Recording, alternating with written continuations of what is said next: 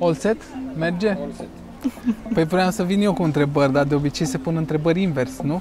Adică tu Depinde. pui între... Depinde. Dacă am fi într-o ședință de psihoterapie, m-aș uita așa în ochii Așa. tăi. Și care ar fi prima întrebare pe care mi-ai pune? Păi, de cele mai multe ori, nu pun nicio întrebare. A, și lași să vezi Da, și mă uit la de tine unde pleacă.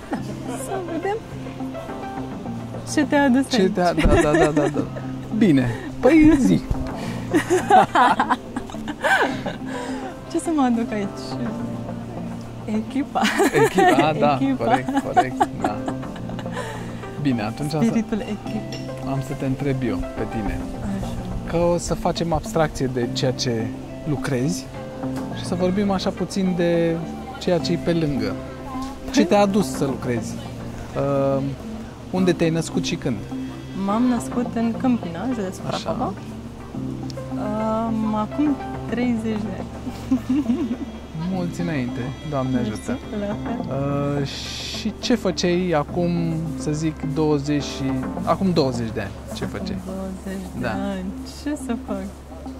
Eram copil din ala studios, mă duceam la școală, îmi făceam temele, îmi citeam temele de astea, lecturi Erai obligatorii. conștiincioasă? Da.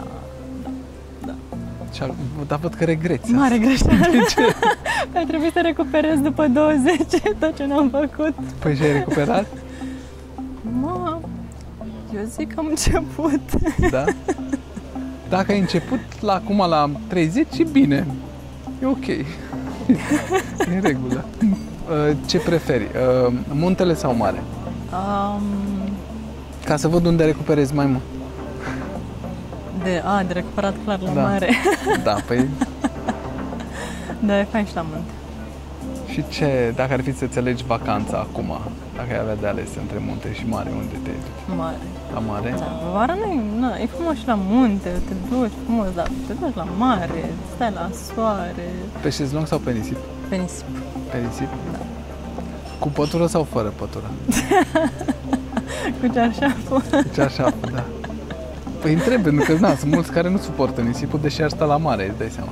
La cort sau la hotel? La hotel. La hotel. Pe principiu am ajuns la acea vârstă la care am nevoie de condiții. Am înțeles. Ai un uh, obiect de care ești atașată? În afară de tatuaj. Ăla nu e obiect, dar e totuși uh, Da, o să un fel râzi. de... Am o cană de cafea, A, da? da, pe care o am de, De acasă am venit cu ea în București. Și este cana din care beau cafea în fiecare dimineață și din care nu mai bea nimeni altcineva. Da, Foarte tare. am o relație apropiată. Și cum îți place cafeaua? Cu lapte, cu zahăr? Neagră. simplă? Neagră? Neagră, tare, La filtru, espresso? espresso. Espresso? O cană de Păi și- espresso. Pe bune, așa de mare? Nu, o cană din asta normală, ok, o cană normală. Două. Ma. Ma. Hmm. Și îți bate inima normal, nu? Adică nu... Da, da, da, da? da, da, da. Și sunt foarte calmă. Asta vrei să zic, Vezi? că la sesiunile tale ești calmă. Foarte. Da. Da, cam cum sunt Da, aici. da, da, foarte tare. Bun. Uh, zim trei lucruri, trei defecte și trei calități la tine. La mine, Da. trei defecte. Hai să începem cu defectele, că e mai simplu. Întotdeauna e mai simplu. Da. Defecte. Sunt, sunt prea perfecționistă și am tendința să procrastinez. Mă pierd în detalii Da. și întârzi. Bun. Așa.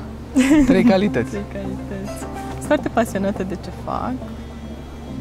Mm, sunt sinceră. Și îmi simt umorului. Bun. Zim pe cine iubești tu cel mai mult? Um, nu știu, e greu. Da, păi știu, păi de asta, Foarte greu. de asta am pus Am început cu întrebarea. astea de vacanță și acum Da, zic, da, păi e așa, bani. progresiv, da, da, da. Păi, uh, da, nu știu. Familia, clar. Așa. Și pe prietenul meu. Foarte frumos. Ce înseamnă un tatuaj pentru tine? Um, e o poveste pe care o pui pe piele, pe care mm, o ai aproape de suflet.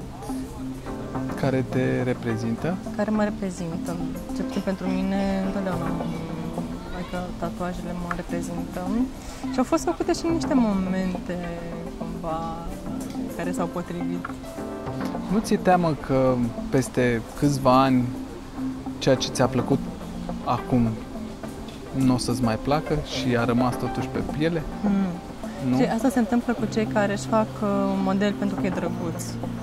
Da. Dacă nu are semnificație, semnificația nu se duce. Se duce. Cum stai cu timpul?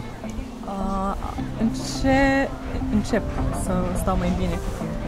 De ce ai început să-l gestionezi sau să fii mai selectiv? Să fiu mai selectivă, să pun niște limite mai clare între ce ore lucrez, câte ore lucrez, când pot oamenii să apeleze la mine.